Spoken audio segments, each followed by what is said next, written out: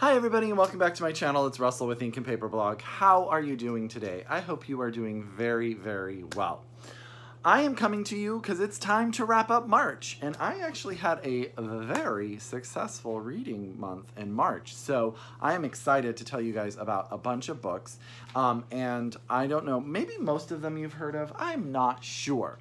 But if you haven't, almost all of them I'm highly going to recommend. So please get your pencil, get your paper, get your Goodreads out because I'm going to be adding to that TBR. I am most certain. But I'm going to start with the book that I listened to to start the month of March, and that is, let me see if I can get it, What It Means When a Man Falls from the Sky by Lesley Nneka Arimah. Aram, Arima? So again, I apologize. I butchered your last name, Lesley, but I did not butcher your book. One, you guys, the audiobook is fantastic. This is a collection of short stories, some of them science fiction in nature, some of them very based in real reality, um, all with um, sort of this setting of either the US or Nigeria. Um, Lesley is phenomenal at creating time and place in such a short amount of time. Um, I'm, it's hard to talk about a short story collection, so I'm just going to tell you about the first story because I think it's so good and it will really bring you into wanting to read the entire collection. Um, and the first short story is, starts with a young girl opening a door into an apartment and being attacked. And then what Lesley does in the in the short story is she goes back in time and leads you up to that event again. And you learn about this girl, you learn about her family, you learn about her sister, and you learn about her sister and the decisions she makes and how they affect our protagonist. Um, it is so well done. I totally was on the edge of my seat. Even though I knew how the story was going to end, I was totally bought in.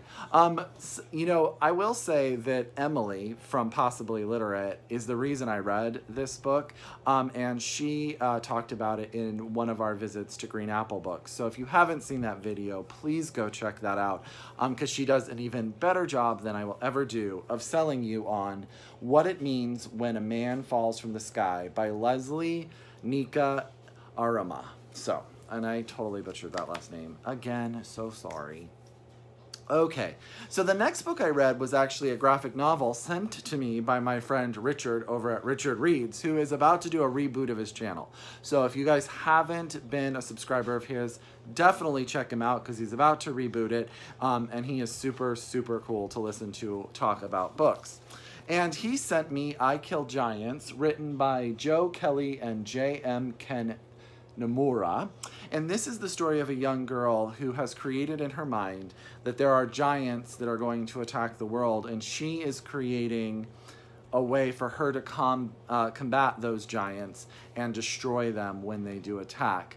And you find out as the graphic novel progresses that the giants are really a metaphor for something else she's having to deal with in her life. Um, she has a new girl move into town who becomes her friend, and she's always been socially awkward and sort of on the outside. Um, so it's weird for her to trust people, and especially with what's going on in her household. Um, yeah. But look at the art. It's all black and white. It's all gorgeous. It is compelling, and it's about to be a movie, which is super exciting. Um, and I really, really enjoyed I uh, Kill Giants by Joe Kelly and J.M. Ken Nimura. Um, it will tug at your heartstrings. No lies. Um, you think that you're reading about a young girl who really is going to attack giants, and yep, get you right there, promise. Okay. The next book that I read this month was What We Lose by Zinzi Clemmons. And oh my goodness. Oh my goodness. This is a short little book that punches you in the gut. What I will say about this is I've read a lot of books lately that have really played with structure and narrative technique. And I love that. I truly love that. But if you struggle with things that are nonlinear or that try to jump and interweave different types of styles, this book may be a little bit harder for you, but it's worth it. The outcome at the end and the payoff is is so fantastic. This is about a young woman who is basically dealing with the fact that her mother, who has been this strong, force in her life, um, is uh, dying and dies of cancer. This is about her in a relationship with her mother. It's her and her relationship with her uh, uh, family and her inner relationships in just the world in general. Um, it is poetic. It, it has sort of a, I would say like a Virginia Woolf feel to it. A Jenny Olaf, Olaf, Olaf, is that how you say her last name? Um, Department of Speculation. If you like that book, I think you would really like this book. One, again, this cover is just gorgeous. Um, and it's it's amazing, you guys. I was like teary-eyed and sad, but also just blown away by the beauty that was this book. So definitely read What We Lose by Zinzi Clemmons. Um, the next book I'm going to talk about probably doesn't need any introduction, and that's My Name is Leon by Kit De Waal. And I'm a little bit late to it because this book didn't actually take off in America, and that is a sad, sad shame because, again, oh my gosh, I think every book broke my heart. There's a lot of crying going on this month. This is the story of Leon. He is nine years old. His mother deals with depression and has just had a baby who is less than a year old. And so Leon is basically the main caretaker, caretaker of his younger brother. Now, Leon is from one relationship and is of mixed race, and his younger brother is not. His younger brother is 100% white and his mother goes into treatment for depression and they are put in a foster home and because Leon is mixed race, um, he is not rushed to be adopted, and um, his brother is taken away and adopted by another family. This is the story of a young boy dealing with the loss of his family and the creation of a new family through different people. Um, the he gets put into a foster home with an older woman who their interactions and how sensitive she is to what Leon does, how he acts out, and how she reacts to that. Um, she winds up actually getting sick, and he winds up moving in with her sister, who is, I just, I kind of imagine if the women of Absolutely Fabulous got really old um, and lived alone and just sat chain smoking and being totally like grumpy, crotchety old women. That's this woman. She's fantastically written. Um, and um, the relationships he has with all these different people and who he goes to become is so good. It is so good. Now, this was shortlisted for the first novel award at the Costas, and it was worth every minute. And her new book is coming out, and I cannot wait. And that is My Name is Liam by Kit De Waal. This is actually the UK paperback cover, um, but it is available in the US. So don't think that you can't get it if you are here, um, and it's worth it. So worth it. The next book I'm going to tell you about, again, needs no introduction, and that's Tin Man by Sarah Winman. Um, this comes out in the US in May of 2018, but as you know, it has been out in Britain for a hundred years. Um, I really, really liked this book. This book is exactly what everyone tells you. It will break your heart. It is about the story of two men um, who meet as children, their relationship. One of them grows up to be a gay adult man, and one um, grows up to marry a woman. Um, but they've always had sort of this intimate relationship with each other. Um, at the start of the book, you learn that the man's wife has passed away, so there's heartache already from the beginning. Um, this is it's a really really good book. I don't know that it trends in anything that's new. Um, the story you you probably have seen before and met before, but her language just does so much to tear your heart out and put it back, and then tear it out and put it right back in again. And all the characters are so well drawn. And this U.S. cover, you guys, come on. And that's Tin Man by Sarah Winman comes out May 15th. Um, definitely get yourself a copy because if you haven't read it already, you're going to want to have read it. Um, okay, so three more books. The next book I read was Fire Sermon by Jamie Quatro. This is the story of a woman who basically is in a relationship with the first man that she ever slept with. Um, she's very religious and has a very religious look on life. And she's a writer, and that influences who she is. She meets a poet, and they connect via sort of email and internet. And then as time goes on, their relationship becomes more intimate. This book, again, is um, structured and in a way that is unique and different. Um, it reads. I don't want to say like a diary, but it's kind of like a letter slash. It's very um, epistolary at times. Um, the parts where she is dealing with her inner turmoil about the infidelity and making the choice is is very good. It's very beautifully written.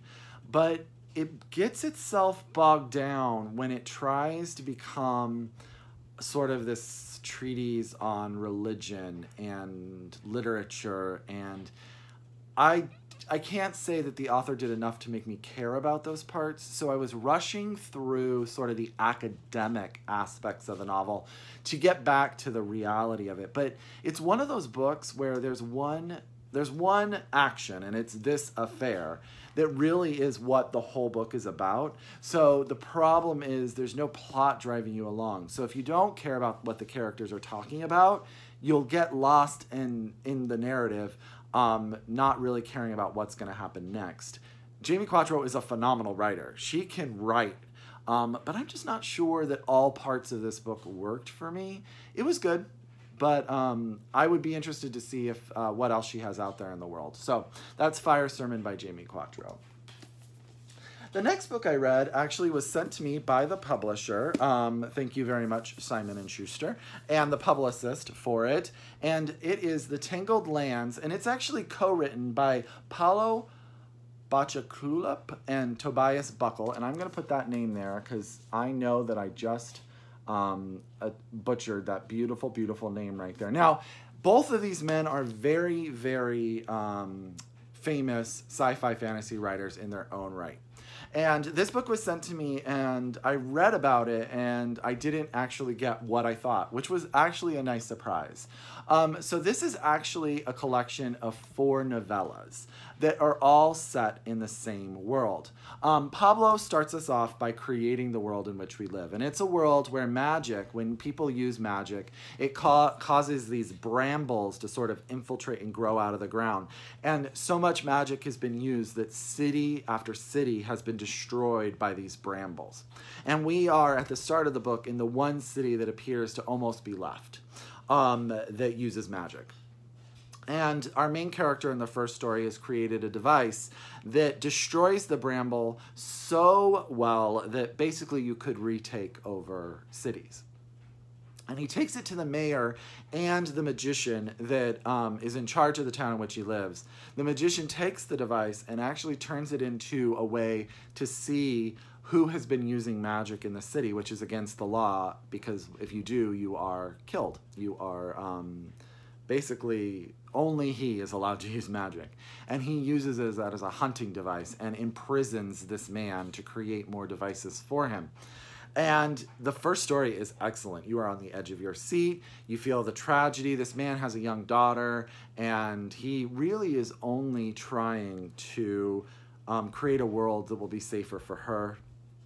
And it, the political intrigue is really good. The device is interesting. Um, the the bad guys are internally bad, and it's really really good. The second novella is about a, a woman who is the daughter of an executioner, one of the people who is called on to kill the people who use magic. Her father is dying, so she answers the call and while she's gone, she comes back and there's been an attack on her town, and her children are taken by a cult who is cleansing the world of magic users because of what it has done. And she travels to try to save her children, and she is known as the executionist. Um, because of sort of this story. And it's one of those sort of tales of where something starts this big and starts to grow and grow and grow until it becomes a myth and becomes a legend and you're bigger than the story about you. And um, it is really good and she is a fantastic character. What she does and who she becomes edge of your seat you guys. So that one is written by tobias. So they go back and forth in these four novellas. Um, the third novella was my least favorite. It was about some children dealing uh, with this. If you touch the bramble you go into sort of this dead sleep um, and it was about one brother dealing with his sister and what he was trying to do to save her. Um, it wasn't my favorite. It wasn't bad. Um, and then the last story is about um, a young woman whose parents are uh, uh, people who work on forges, because I am totally uh, blanking on what that word is. Um, let me see. Um, blacksmiths, my goodness. And um, they're uh, asked to build some uh, armor for a rich man. It doesn't work out, and sort of how that changes who she is as a person. The the first two and the last one are absolutely worth the price of the book, The Tangled Lands. But just know what you're getting into. Four different novellas, two by each author. They connect, but the characters don't connect. The world connects. Um, I really enjoyed this, and you guys know I don't read a ton of fantasy, and so that's The Tangled Lands by Paulo Bachicala, uh, Calupe and Tobias S. Buckell. And again, Pablo, I am so sorry for butchering your name, but thank you for writing a book. I really enjoyed. And then the last book, you guys, I'm not going to talk about too much because it was my book club of the month for my Around the World in a Thousand Pages book club, and that's Purple Hibiscus by Chimamanda Ngozi Adichie. This is the story of two young children and their religiously fanatic father, and how their versions of the world change as they leave their sheltered life to live with their aunt and learn what the real Nigeria really is about. Um, this book is horrifying. This book is powerful. The main character, um, uh, Kambili, is fantastic, and it is beautifully written. And if you haven't read any Chimamanda Ngozi Adichie, this is a great place to start, and it will make you want to read all of her books. Um, it is so good. And um, I really realize now how important she is to the world of literature now that I've read just about everything that she's written. And highly recommend, highly recommend Purple Hibiscus by Chimamanda Ngozi Adichie. So I tried to keep this short, but I read a lot. So there you go. So you guys remember that I do have a deal with Green Apple Books in San Francisco. There's a code down below where you can get 10% off of any of these titles, and they do offer 99 cent shipping across the United States. So, as always, if you are a return subscriber, thank you so much. I hope you enjoyed it. If you are new to my channel, welcome. Please subscribe. And as always, until next time, happy reading. Bye!